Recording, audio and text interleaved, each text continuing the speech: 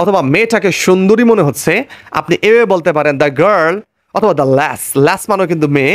The girl seems to be very beautiful the very awesome বললেন যে অসাধারণ মনে হচ্ছে। তার মানে সাবজেক্ট কিন্তু কিছু মনে করে নাই। এটা কিন্তু খেয়াল রাখতে হবে সাবজেক্টকেই ফোকাস করতেছেন? সালাম আলাইকুম, সবাই কেমন আছেন? আশা করি অনেক ভালো আছেন।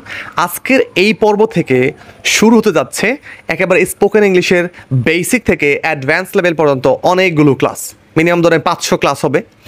আসলে এই ক্লাসগুলো খুব চমৎকারভাবে সাজানো হবে, যেখানে আপনি একেবারে বেসিক লেভেল থেকে স্ট্রং লেভেল পর্যন্ত কিন্তু আপনি স্পোকেনের অনেক বিষয় পেয়ে যাবেন। বিশেষ করে স্ট্রাকচারালি আপনি যখন ইংলিশে কথা বলতে চান, তখন কিন্তু প্রচুর স্ট্রাকচার ইউজ করে আমরা কিন্তু নর্মালি কি বলি?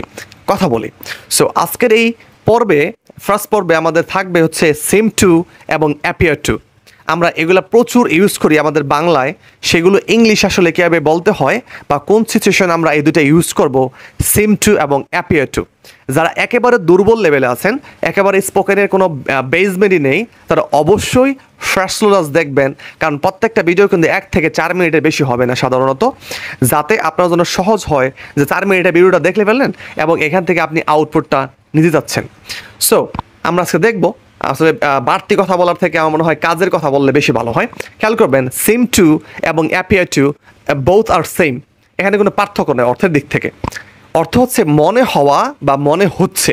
খেয়াল করবেন, আমরা বলি না যে তোমাকে তো আজকে ক্লান্ত মনে হচ্ছে।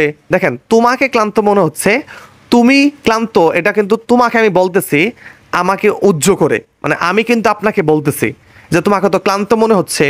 তখন আপনি কিন্তু বলতে, আপনাকে বলতে হবে যে ইউ লুক টায়ার্ড তোমার ক্লান্ত মনে হচ্ছে, এটা কমন বাট নেটিভটা কিন্তু এভাবে বলে না। ওরা বলে you seem to be very tired you seem to be very tired তোমাকে অনেক ক্লান্ত মনে হচ্ছে। তার মানে খেয়াল করবেন সিম টু অর্থ মনে হওয়া সাবজেক্টকেই মানে সাবজেক্ট কিছু মনে করবে না।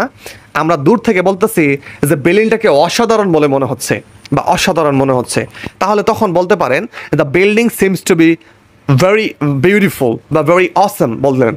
অথবা মেয়েটাকে সুন্দরী মনে হচ্ছে, আপনি এভাবে বলতে পারেন দ্য গার্ল অথবা দ্য ল্যাস ল্যাস মানেও কিন্তু মেয়ে। The girl seems to be very beautiful the very awesome বললেন যে অসাধারণ মনে হচ্ছে। তার মানে সাবজেক্ট কিন্তু কিছু মনে করে নাই। এটা কিন্তু খেয়াল রাখতে হবে। সাবজেক্টকেই ফোকাস করতেছেন, ফোনটা দামি মনে হচ্ছে। ওয়াও এত দামি ফোন মনে হচ্ছে, ব্যাপারটা এরকম বলি কিন্তু আমরা।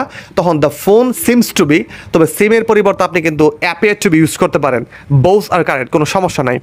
আপনি বললেন যে লুকটাকে চুর বলে মনে হচ্ছে, তা এভাবে বলতে পারেন। The man appears to be বা seems to be a thief একটা চুর বলে মনে হচ্ছে। আমরা কিন্তু এরকমভাবে হিউজ কথা বলে থাকি। তো পজিটিভে গেল এটা, তাহলে নেগেটিভ আমরা কীভাবে বলব? তাহলে ডাজেন্ট ইউজ করবেন। তাহলে বলতে পারে এরকমভাবে যে the house doesn't seem to be expensive বাড়িটা দামি বলে মনে হচ্ছে না। তার মানে বাড়িটা এক্সপেন্সিভ না। হয়তো ওরকমভাবে সাজানো গোছানো না। আপনার কাছে ভালো লাগে নাই। অথবা দ্য ফোনটা আপনি বলতে পারেন the phone doesn't seem to be expensive বা doesn't seem to be beautiful ফোনটা সুন্দর বলে মনে হচ্ছে না বা ভালো বলে মনে হচ্ছে না। এইরকম ক্ষেত্রে আপনাকে সেম টু ইউজ করতে হবে। তাহলে আজকে থেকে আপনি সেম টু খাতায় লিখে লিখে এবং স্পোকেনে অর্থাৎ মুখে মুখে বলার ট্রাই করবেন যে you seem to be tired তোমাকে ক্লান্ত মনে হচ্ছে, অথবা they seem to be very exhausted তাদেরকে অনেক ক্লান্ত মনে হচ্ছে। তা আশা করি বুঝতে পেরেছেন। যদি বুঝে থাকেন, তাহলে অবশ্যই শেয়ার করবেন, যাতে অন্যরা এখান থেকে শিখতে পারে।